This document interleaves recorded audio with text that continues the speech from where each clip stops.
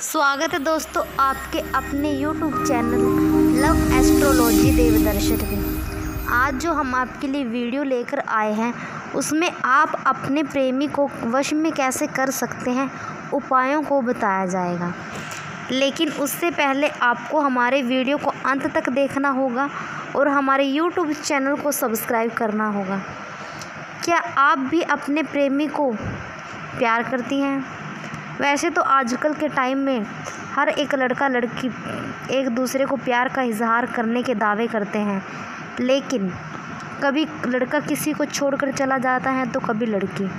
अगर आप अपने प्रेमी से सच्चा प्यार करती हैं और चाहती हैं कि आपका प्रेमी हमेशा ही आपसे प्यार करे, हमेशा के लिए आपके पास रहे, लेकिन आपको कोई डर सता रहा है, कहीं आपका प्रेमी आपको छोड़कर ना चला जाए, कहीं किसी और लड़की के पास अट्रैक्शन में ना आ जाए किसी और लड़की के प्यार में ना फंस जाए, या किसी और लड़की के प्यार करने ना लगे। अगर आपको भी इस बात का डर सताए जा रहा है, अगर आप अपने प्रेमी को सिर्फ़ अपना बनाना चाहती हैं, अपने प्रेमी को काबू करना चाहती हैं तो हम पान के पत्ते का एक ऐसा वशीकरण आपको बताएँगे, जिसके करते ही आप अपने प्रेमी को हमेशा के लिए अपना बना सकती हैं। यह उपाय करते ही आपका प्रेमी आपके वश में होगा और सिर्फ़ आपसे ही प्यार करेगा। ना केवल वो आपसे प्यार करेगा, वो आपकी हर बात मानेगा और कभी किसी लड़की की तरफ़ देखना तो दूर, किसी लड़की की तरफ़ आँख उठाकर भी नहीं देखेगा।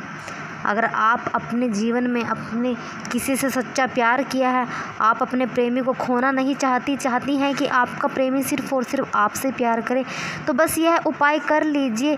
इससे ऐसा अटूट वशीकरण आपके प्रेमी का होगा जिसके करते ही आपका प्रेमी आपके वश में होगा और वह आपसे ही प्यार करेगा। आपको करना क्या है? एक पान का पत्ता ले लेना है।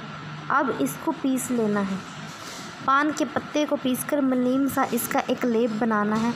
अब इस लेप में आपको थोड़ा सा सिंदूर मिलाना है। अब आपको 11 दिन तक लगातार यह क्रिया करनी है।